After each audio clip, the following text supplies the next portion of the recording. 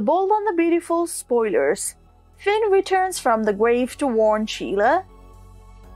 Who would have thought even the bold and the beautiful can get horrifying?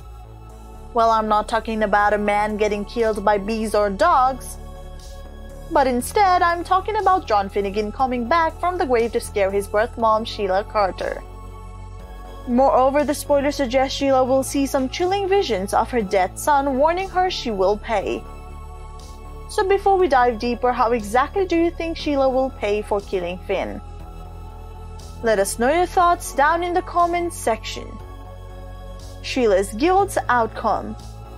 Getting into the spoiler, Sheila never wanted to shoot her own son. However, Finn sacrificed himself to save Steffy Forrester.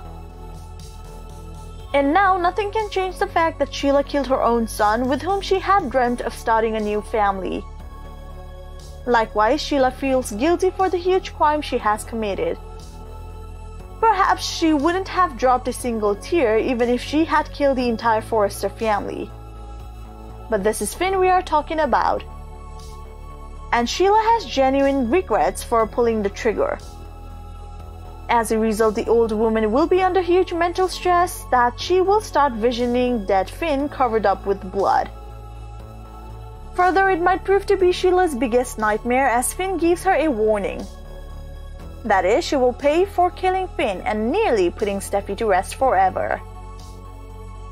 Also, what if Finn actually returns back from the grave? Well, it's always better to prepare for these things. Finn could return? On the other hand, how many of you remember the time Liam Spencer assumed he had killed Vinny Walker? Above all, the guy was guilty of hitting Vinny with his car and running off as Bill Spencer suggested. Consequently, Liam also got to see some visions of dead Vinny. Since Vinny had actually died, we can rest assured for now that Finn is actually dead. But it will surely be interesting if the show decides to bring back Finn. Whereas fans are doubtful about Li Finnegan's sudden return and it's possible her return might have something to do with Finn's death and revival. But fans will have to wait and watch first. Lastly, Sheila might get the vision right when she's bonding with Hayes Finnegan. So things might be more horrifying than we are prepared for. Thank you for watching the video. If you enjoyed the video, make sure to check some of our other videos. And we hope to see you again in the next video.